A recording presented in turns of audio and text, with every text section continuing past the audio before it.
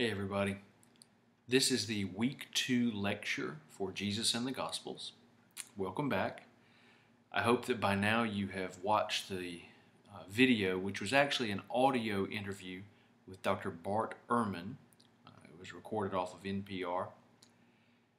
And I also hope that you have read both chapters two and three from our textbook, Jesus and the Gospels.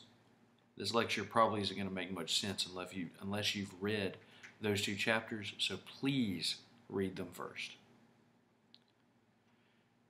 These two chapters go together because they frame the argument that we're going to be examining for the rest of the semester. In the first place is the primary question that we are addressing Did Jesus exist? And if so, how? The second chapter, which is really the third chapter of your book, examines the very fundamental history of how we have answered that question or tried to answer that question for the last 300 or so years. What I want you to gain from these two chapters is an understanding that we are just peering into a very dense and thick conversation that's been going on in the halls of academia around the world for hundreds of years. We're not going to come out of this as scholars able to contribute to the argument, but I hope that you'll come out with a better understanding of just what has been said when it comes to Jesus studies. Now, first, let's remember the primary question did Jesus exist? And if so, how?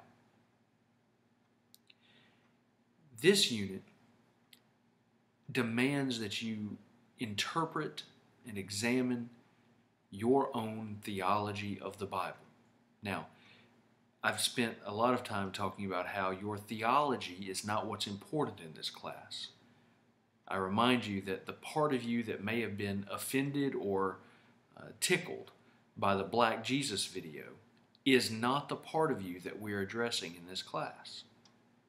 The part of you that we're trying to get at is your intellect, your academic understanding of what the Gospels say and what kind of Jesus they portray.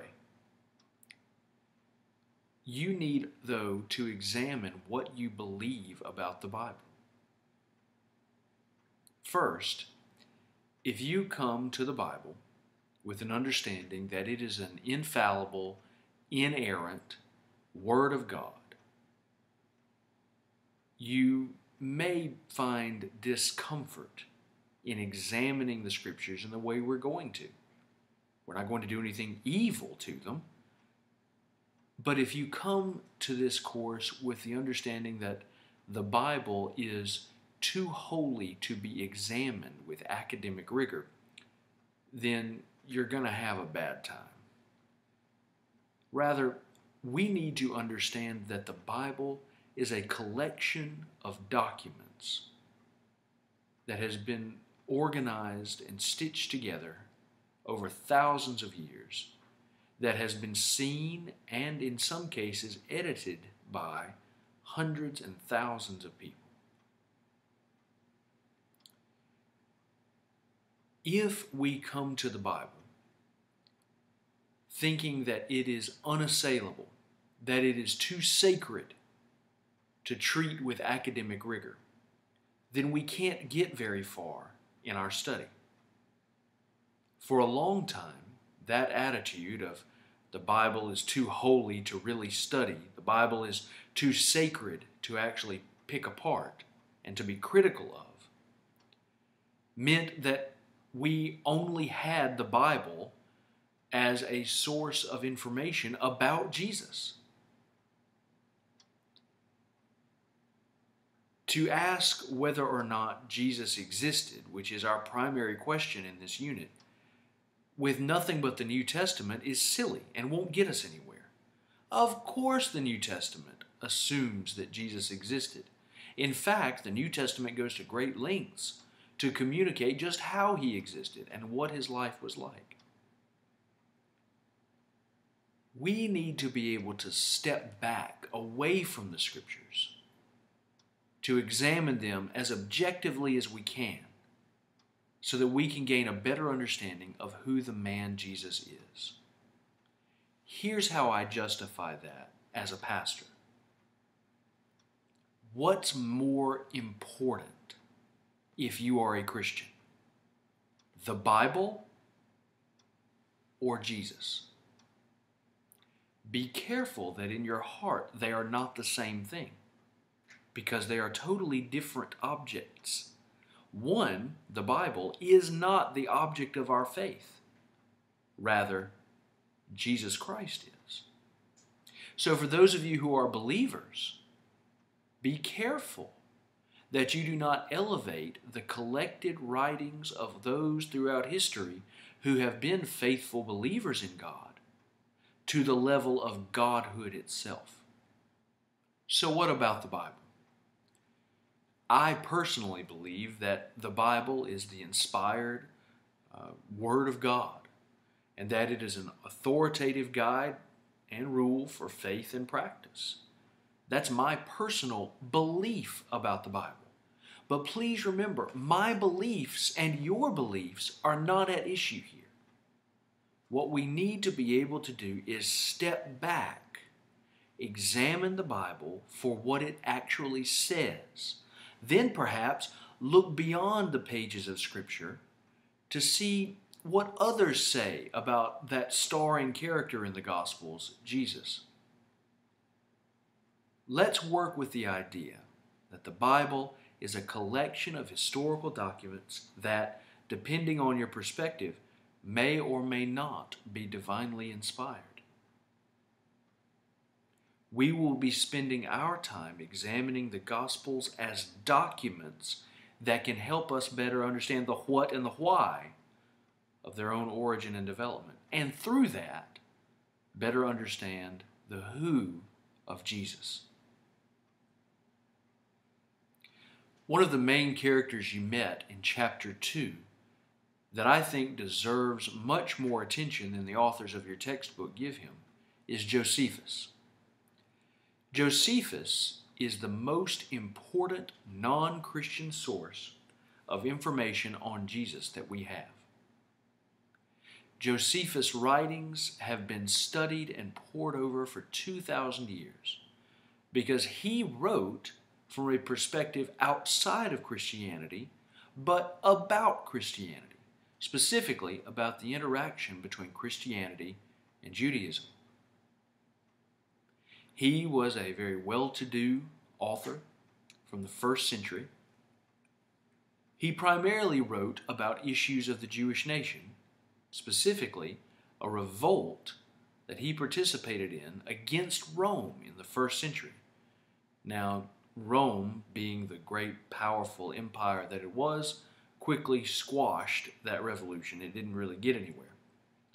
But Josephus continued to write about the revolt, about the Jewish people, and included information about Jesus and the Christians. Not much, but enough that he has become a valuable asset to the study of first century Christianity and the study of Jesus. The works of Josephus offer us a simple case study in how we are going to eventually treat the Gospels themselves. Consider this the stories and records that Josephus wrote down thousands of years ago have been valued by the church and by Christianity at large for that long length of time between the first century and now. Those writings have been in the hands of folks who would have preferred that Josephus had been even kinder to Christianity. Perhaps even that Josephus had shown the supremacy of Christianity over Judaism.